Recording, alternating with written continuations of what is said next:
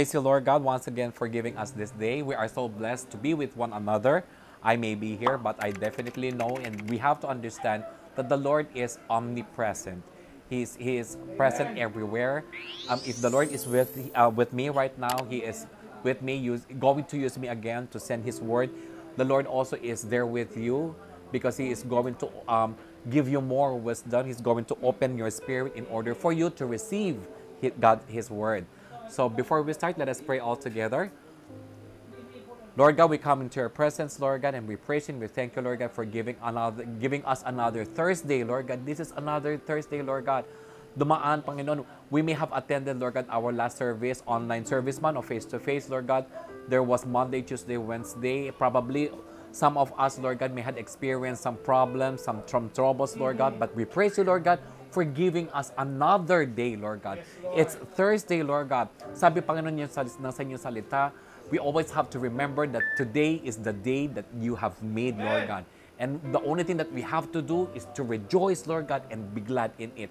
We rejoice, Lord God, and we are so glad that you have given us another day, Lord God, full of hope, Lord God, that you that you had seen, Lord God, in us, Lord God, that we're going to go through and be done, Lord God, with all of these things. Maraming maraming salamat, Lord God. Holy Spirit of God, we praise you and we thank you, Lord God, Panginoon, for reminding us of God's promises, Lord God.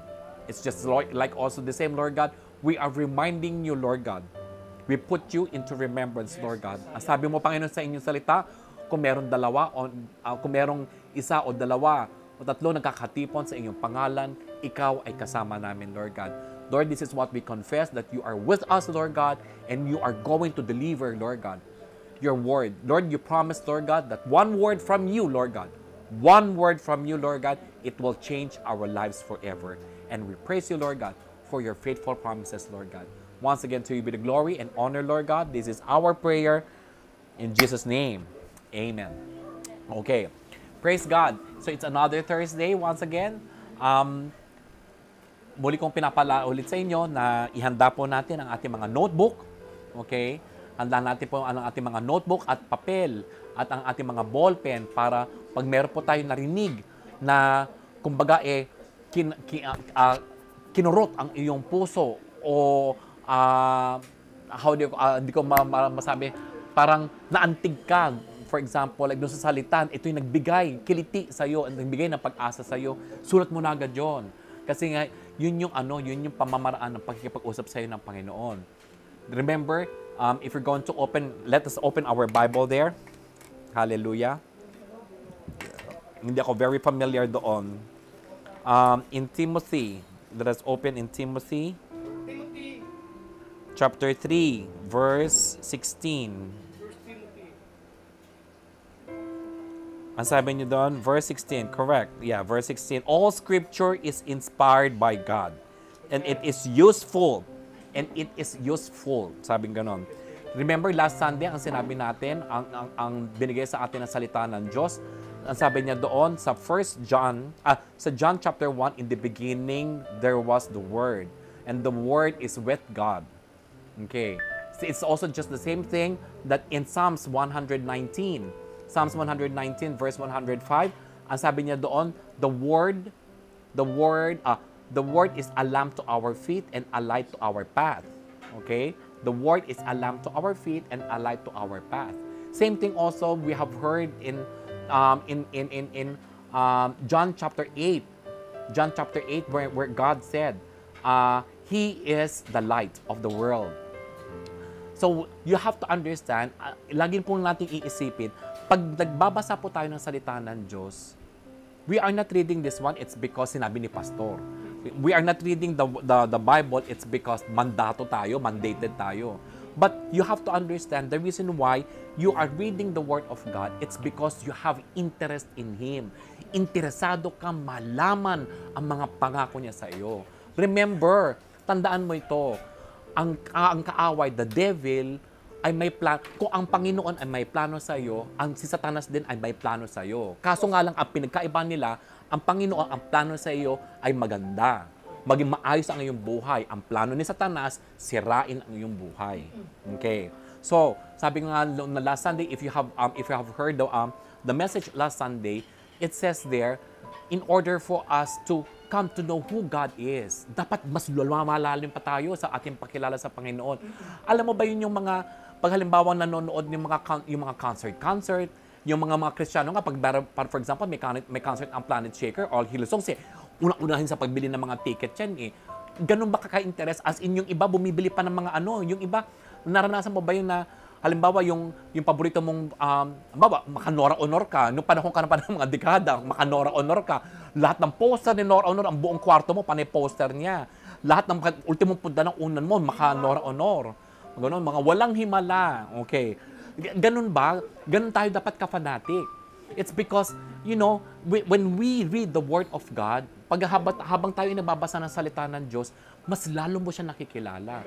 He is more, the Lord, sabi nga ng, sabi nga ng Panginoong Heso Kristo doon eh, paano, paano mo paano mo makikilala ang Diyos Ama? How do you how how deep do you know God is if you do not even know me? Kasi nga kung kilala mo ang Panginoong Heso Kristo, mas makikilala mo pa ng gusto ang Diyos Ama. He is more than a father. He is more Jesus Christ is more than a savior. Come on people. Come on people we have been doing this one for many times, for a very long time. Matagal, medyo matagal-tagal na rin po ang ating online. Dapat medyo ma-advance na rin tayo. Ang sabi po nga ng salita sa, um, if, if I'm not mistaken, sa, sa Hebrews, let us not be babies, always drinking milk. Dapat kumain na tayo ng baboy. Bagamat, eh, well, wag naman, wag naman baboy. Ako nga hindi ko makain ng baboy eh. Wag karne. Dapat kumain na tayo ng something chewy ba? Okay? we are not we, we are not baby Christians anymore. Okay? We are not baby. Remember tandaan mo to. Sa, sa Panginoon, there is no condemnation, but there is always conviction. Ano po yung ano ba yung difference ng condemnation at conviction? Pag condemnation, yun yung si Satanas. Wala kang kwenta. Ikaw babasa-basa ka ng Bible pero nagkakamali ka naman. Yan yung si Satanas yan. Yan yung condemnation. Pero ang conviction, anak, hindi ganyan yan. Dapat, dapat to ang gawin mo. Ito ang tamang daan. That is what you call conviction is. Sabi ng Panginoon in 2 Timothy chapter 3 verse 16, the scripture is inspired by God. It is used to teach what is true, to make us realize what is wrong in our lives, to correct us when we are wrong, and then teaches us to do what is right. Ito daw ang salita ng Diyos. Itinatama niya tayo. Ito, tin, bukod sa tinatama tayo, tinuturoan tayo kung paano lumakad. Bakit? Kasi nga ito yung magandang plano ng Panginoon sa atin. Praise God. Praise God. So, um, when, when we receive Jesus Christ, you have to understand that you are called. Hindi mo pinili. Always remember this one. Hindi mo pinili ang Panginoon para ikaw ay mahalin. Pero pinili ka ng Panginoon para ikaw ay mahalin. It only means to say, you have to tell it to yourself, I am called. Sabihin mo sa iyong sarili, I am called. Again, I am called. Hindi cold na malamig ha, C-O-L-D. C-A-L-L-E-D. Tinawag. Again, I am called. Very good. Praise God. It only means to say that when you when you said that you are cold, pag sinabi mo sa sarili mong I am cold, it only means to say you have a purpose. All of us has a purpose. Wow, uh, paano yan? Eh, ikaw kasi, Brother Penny, nag-aral ka eh, tapos ka ng graduate eh, blah blah blah or something eh. Eh, ikaw, um, matagal ka na sa Panginoon, at marami ka nang alam sa salitan. No. Sa mata ng Diyos, kung ikaw ay nabubuhay, kung ikaw ay may hininga, kahit anuman, anong kahit whatever, uh, whatever um, gender you have, lalaki ka man, babae ka man, kung ano man ang edad mo, matanda ka man, bata ka man, bagets ka man, nasa kalagitnaan ka man, always remember because you receive God as your Lord and Savior, you receive Jesus Christ as your, as your Lord and Savior, you are called. You have a purpose in life. May layunin ang iyong, ah, may layunin ka sa mundong ito. Always remember that. You have a purpose. Whatever state, whatever status you are, you have a purpose. Kahit ano pa yung mali mo, like how many mistakes you had you had uh, you had made before. Remember, when the Lord looks at you, pag nakatingin ang Panginoon sa iyo, He's not looking at you and then counting lahat ng mga ginawa. Ah, kanina nagsinungaling ka. Ah, kanina nagnenok ka. Ah, kanina hindi ka sumunod sa nanay mo. Ah, kanina inaway mo ang asawa mo. Ah, kanina nagmura ka. He's not looking at these things. When the Lord is looking at you, Jeremiah, if, if you're going to open uh, the Bible in Jeremiah 1.12, Jeremiah 1.12, Jeremiah, you can write it down there. Jeremiah 1:12, the Lord says there, I am watching to see. Everybody say, I am watching to see. I am watching to see. Everybody say, God is watching. God is watching. God is watching me God is watching me to see to see His word His word working in my life. Amen. God is watching. Right now, God is watching to see perfectly that His word is working in your life right now. You have a purpose. God called you. Sa iglesia, if you're going to open your Bible in in um, 1 Corinthians, 1 Corinthians chapter 12. Again, 1 Corinthians. Sa Tagalog po, unang Korinto. There are two books of Corinthians. Meron tayong first book of Corinthians, meron tayong second book of Corinthians. So let's go now first on Corinthians, uh, 1 Corinthians chapter 12, verse 7. It says there, a spiritual gift is given to each of us so we can help each other. Again, a spiritual gift. A spiritual gift is given to all of us, to each of us. Ito ay hindi inimbento. Ito ang salita ng Diyos. Remember, John chapter 1 verse 1, in the beginning is the Word and the Word was with God. John chapter, I don't want to make um, mistakes on this one. This is the Word of God. It says there, in the beginning, the Word was already existed. The Word was with God and the Word was God.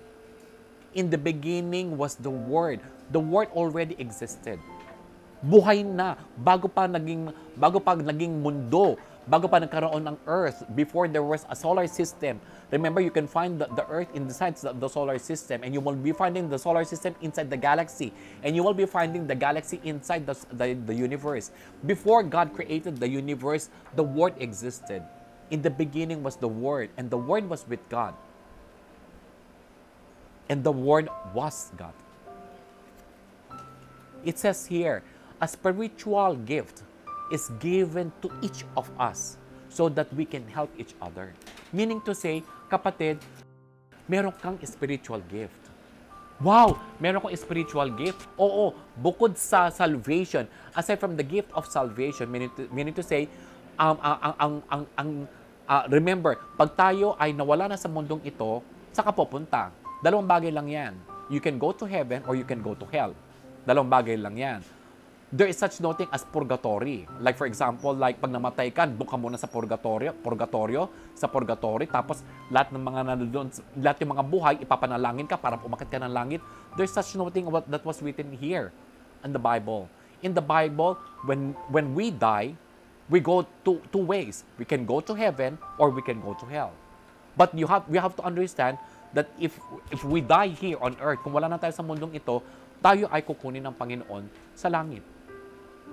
But this, pero habang tayo pa lang ay nandito sa lupa, the Lord has given us spiritual gifts. May kaloob ka, kapatid. Sabihin mo sa sarili mo, may kaloob ako. May kaloob ako.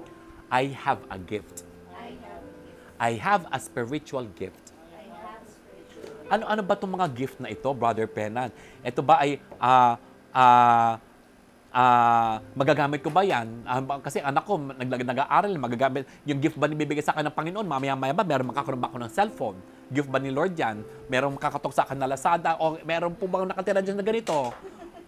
Okay. O kaya yung ano, yung gift na yan, baka inaasahan mo, meron ka ng ano, chooks to go, mamayang, mamayang hapunan, nakain, kakainin. O hindi ko natin alam kung paano kumilos ang Panginoon. But what this is not what I am talking about. What I'm talking about here when I talk about spiritual gifts here is that the Lord has plans for you. It's just like also the same thing with me. Mali ko ba, promise, if you're going to know about me, promise, matatawa ka. Ako nga, tawan-tawa ako eh. Natatawa ako hindi dahil ano, nakokornin ako sa ginagawa ng Panginoon. Pero natutuwa ako, hindi natatawa, natutuwa ako kasi nga, my gosh, hindi ko alam, hindi ko pala mai... Nung ako ay nag-aaral, hin- promise, hindi ko nakita ang sarili kong nagtuturo. I never saw myself as a teacher. I never saw myself as a teacher. But because suddenly I came to know Him at patuloy akong ma-attend ng church, remember kapatid, it doesn't necessarily mean that if you are a Christian, you're not going to make mistakes. I make a lot of mistakes. I make a lot of mistakes. And the reason why I love I love God more because He gave me this church. Hindi ko po tinataas ang iglesyang ito. I am not lifting to you my our church, the Life Giving Spirit Church. No.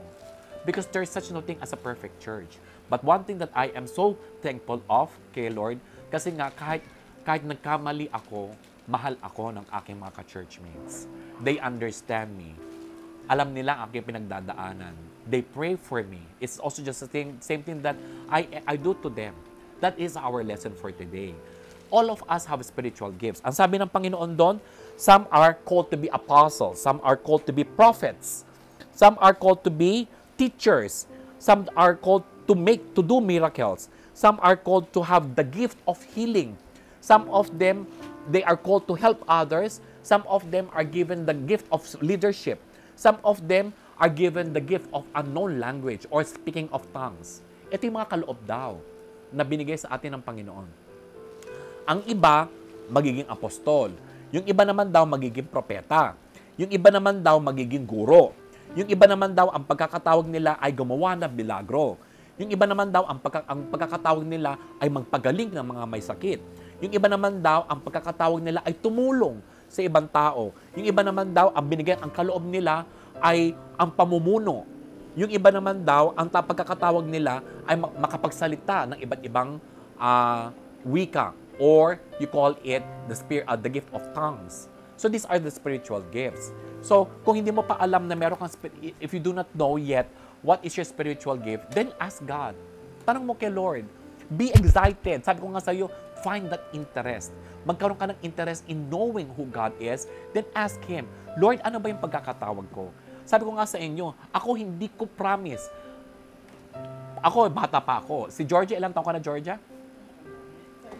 O 32. Ako ay mas matanda lang na isang taon kay Georgia. I'm only ano. Oo. Hindi hindi hindi nakakalayo ang aming edad, okay? Pero yung itong edad edad kong ito, imagine na- I mean like seriously, medyo medyo mayroong mas matanda naman ako kay Georgia. However, however, my point there is it's not about the age. My point there is, my gosh, ngayon ko lang ngayon ko lang nakilala ang Panginoon. Ngayon ko lang nakita na meron pa akong pala akong kaloob.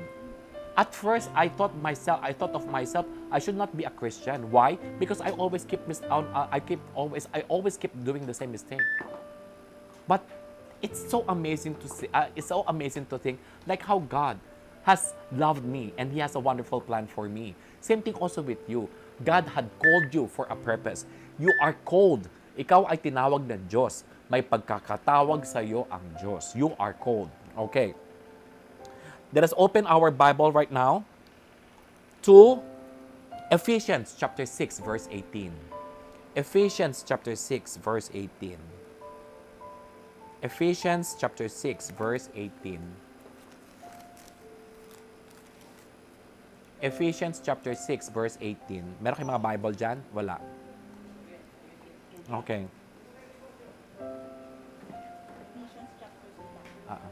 Ephesians chapter 6. O sige, o just open your ano Bible. Sa Tagalog yan, kung halimbawa ang hawak mo, if you're holding a, a Tagalog Bible, ang Tagalog ng Ephesians ay Epeso. Ephesians chapter 6, kapitulo 6, versikulo 18. Ephesians chapter 6, verse 18.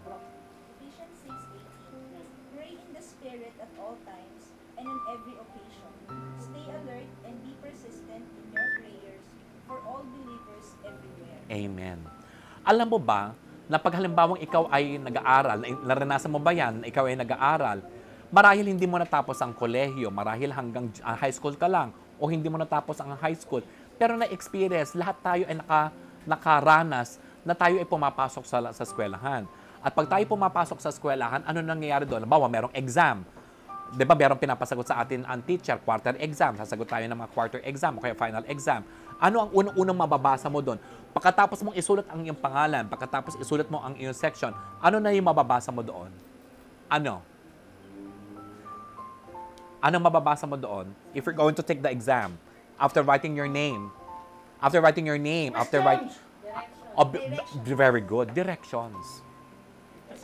Directions, very good. Ang mababasa mo lang doon ay direction, instruction. Bakit ka may, bakit mayroong instruction? Why there has to be an instruction? Para tama ang iyong gawin. Same thing din kung halimbawa ikaw yung mag, magpapasaksak ng ano ng ng ah, vaccine, may instruction din yan. Halimbawa, ikaw ay pupunta, for example, mag apply ng trabaho, may instruction yan. Kukuha ka ng national ID, may instruction din yan. Okay? Halimbawa, for example, ang IATF ngayon, sa mga panahon ngayon ng new normal, hindi ka basta-basta pwedeng lumabas. Kailangan meron kang face shield, kailangan meron kang ano, uh, face mask. Ibig sabihin, that they are giving us instructions on what to do. Same thing also with the Word of God. The Word of God is also an instruction. In the series, sa series ngayon na pinag-aaralan o sa sinimulan ni Pastor, ang lagi niyang tinuturo ay ang yung first series, ang kanyang tinuturo ay about healing. Ngayon series na to, ang ngayon series na to, what he was teaching us, all of us, is about prayer. Papaano ba manalangin? Papaano, unang-una, papaano ba manalangin? Ano-ano ba dapat ipanalangin? With all of these things, the Lord is giving us, us now an instruction. Ephesians chapter 6, verse 18, it says there, pray in the Spirit. Pray in the Spirit. Thank you. Ah, wait lang po. Inom lang po ako.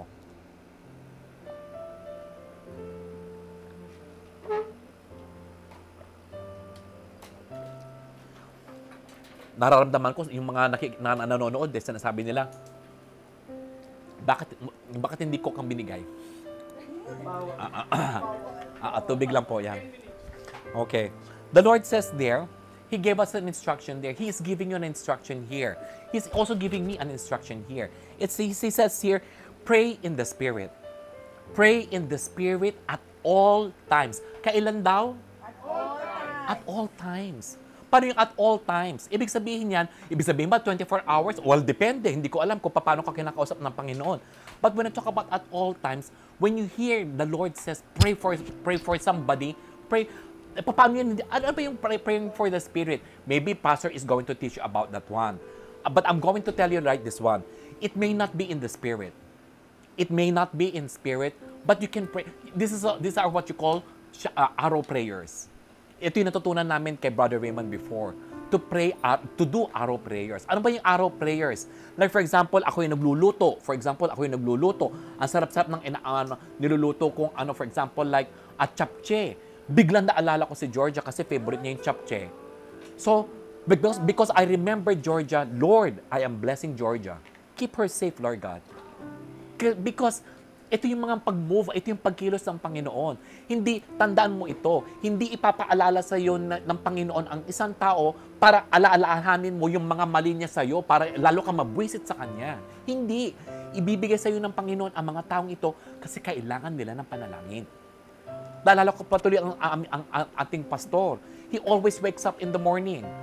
Ikaw ay natutulog ng alas 3, ikaw ay natutulog ng alas 2, pero pag si Lord, pag ginising siya ng alauna, pag ginising siya ng alas 2, aba, Isidro, bumangon ka. Ayoko nga bumangon. Ayoko nga bumangon. Pag sinabi, niya, ayoko, sasabihin niya, ayoko nga bumangon, ikaw mananagot. Kasi nga, kaya nga siya pinababangon kasi nga, he has to pray. Sometimes, it's very clear that he's going to pray for someone. Sometimes, it's vague, hindi niya alam. That's the time that he, he prays in the Spirit. Praise God kasi nga we are in the series of prayer and Pastor is go Pastor, brother, Pastor is going to teach us or he's going to teach you how to pray in the Spirit. The concern of the Lord here right now is He is giving us instruction. He is giving you instruction. Everybody say instruction. Instruction. He is giving you instruction to always pray. To always to always pray. To always pray for who? For yourself? Tandaan mo yan. You don't have to pray for yourself. Napaka-unfair naman. Lagi kong ipapanalangin si JR. yung kanyang pangangailangan lagi kong ipapanalangin? Hindi. Tandaan mo to. Bago ka pa manalangin, kapatid, alam na ng Panginoon kung ano ang kailangan mo. He knows you very much. He knows what you need. Okay?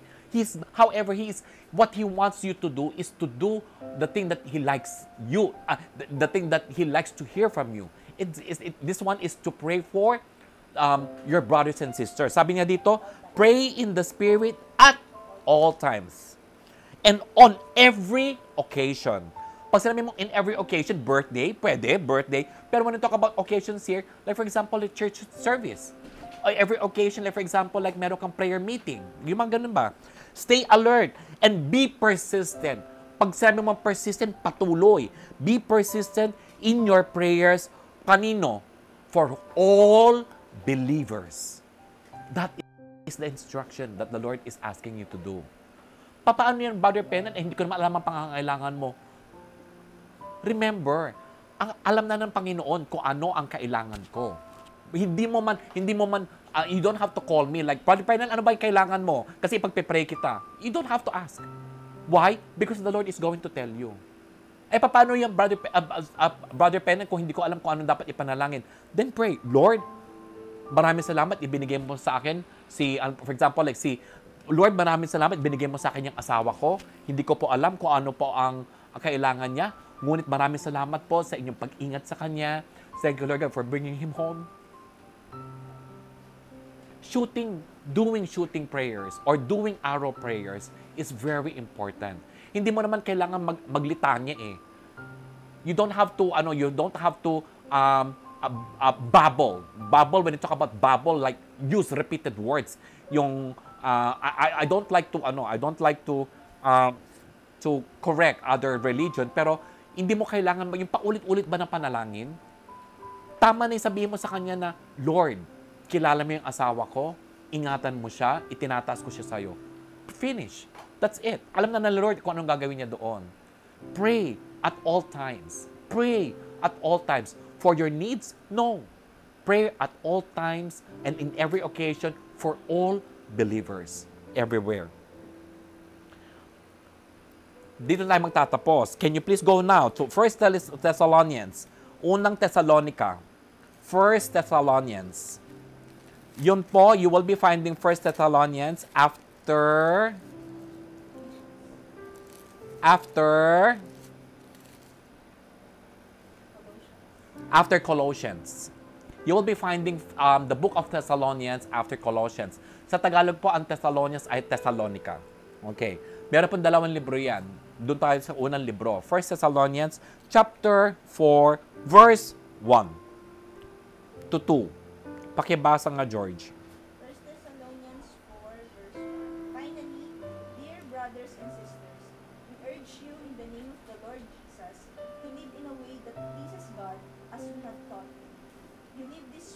Amen. and encourage you to do so even more. Amen. Verse 2. For you remember what we taught you by the authority of the Lord Jesus.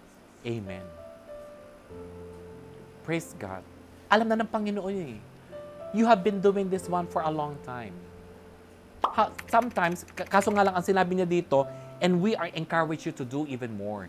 We encourage you. We encourage you. We encourage you to do more. Bakit? Kasi may meron mga pagkakataon na nanlalamig. Meron mga pagkakataon na kaaway mo pa yung dapat mong ipanalangin. So the Lord here, um, the Lord is giving us here an encouragement. Sa, ang kinakausap ka ng Panginoon, I am encouraging you, anak. Ipanalangin mo ang iyong asawa. Ayoko nga. Ginagawa mo na yan. Dati-dati mo yung pinapanalangin. Nagkaroon kayo ng lang nakontentampuhan eh. Ngayon, hindi mo na siya ipapanalangin. Ipanalangin mo pa rin siya. I encourage you to do more. You have been doing, sinusunod na natin ang Panginoon like long before. For example, like if you are new a Christian, if you are new a, uh, if you are a new Christian, the Lord is telling you right now. The Lord is telling you right now. Now that you have received Him, and then now that you are praying, this is what I'm telling you right now. Pray for all believers. Kailan? Tuwing kailan? At all times and in every occasion. Praise God.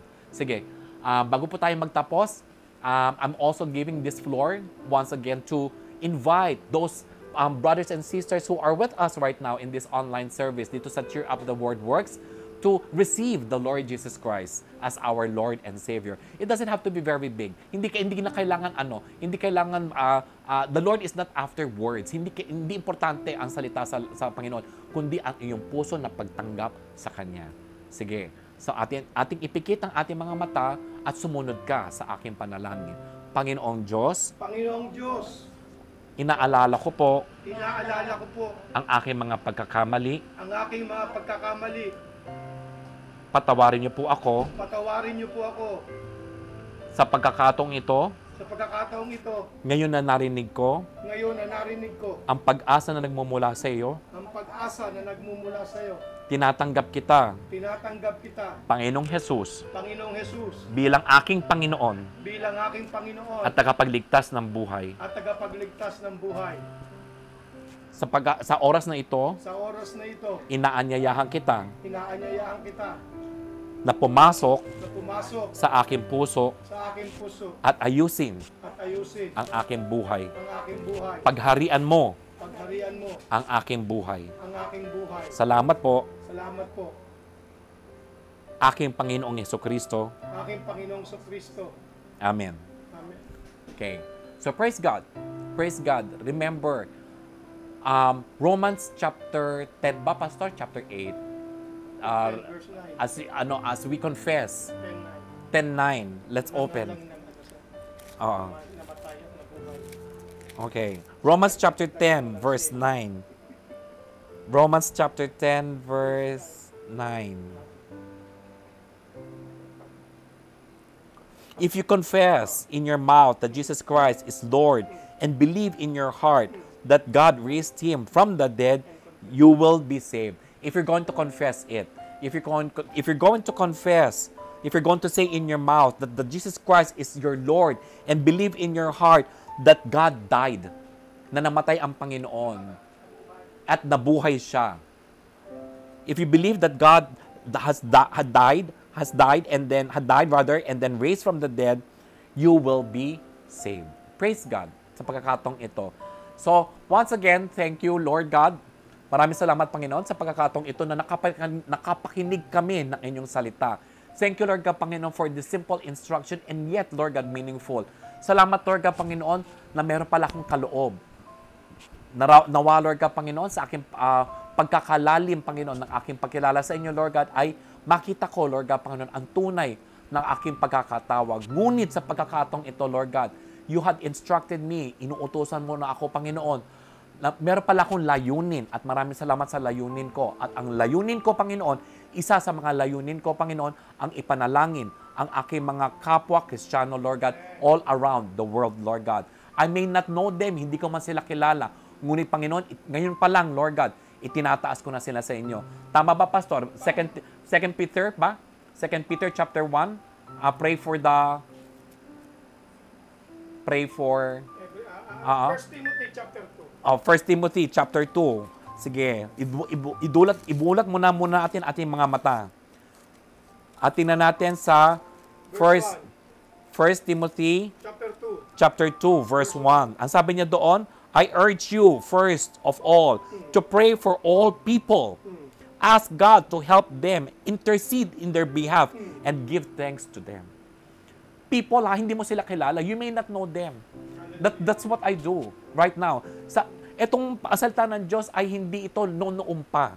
Itong salita ng Diyos ay instruction din na binigay sa amin ni pastor pumasok sa aking puso at ngayon to, ngayon po ay ginagawa ko ngayon. So I'm in also inviting you to pray for all people. Sabi niya doon in first uh, in, in Ephesians chapter 6, sabi niya doon in Ephesians chapter 6 verse 1 uh, verse 18. Pray at all times. Sinong pangmanalangin mo? People. Okay. Praise you, Lord God.